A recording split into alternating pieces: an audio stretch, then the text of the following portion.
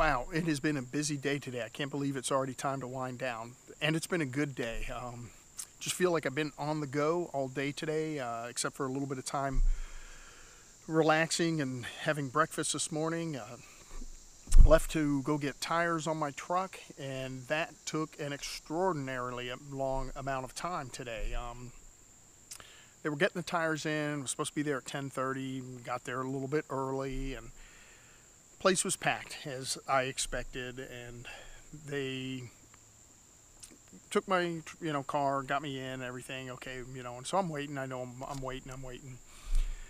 And it was probably about 11:30, 11:45. About an hour I've been there, and. Uh, the guy says, "Oh, the tires just came in. We just unloaded them off the truck, so we're going to get yours into the bay.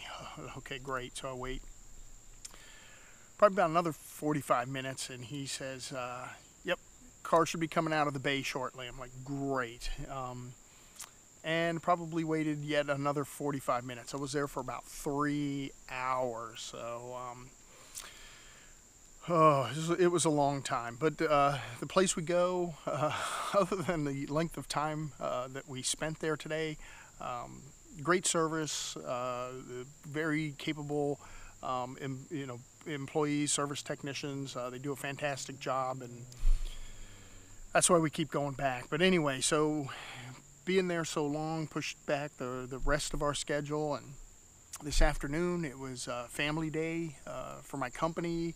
And that was great. So uh, I had to go pick up my son's friend and ended up uh, heading out there and uh, got to see a lot of people I work with, and what I really like about these uh, family days is, you know, it, it, when you work with these people on a day-to-day basis, whatever you, uh, you know, you have a professional relationship with them, um, and, and sometimes I think we forget that they're people too, and they have families, and they have kids, or you know, they have a life outside of work just like everybody else, and uh, so it's nice to meet people in, a, in, an environment outside of work and meet their families and uh, stuff like that. So I've really, really enjoyed that part of it, and uh, just had just had a lot of fun there. And then uh, it was at a soccer game, so we watched uh, a bit of the soccer game, and then came home. And like I said, it's it's heading towards the end of the day.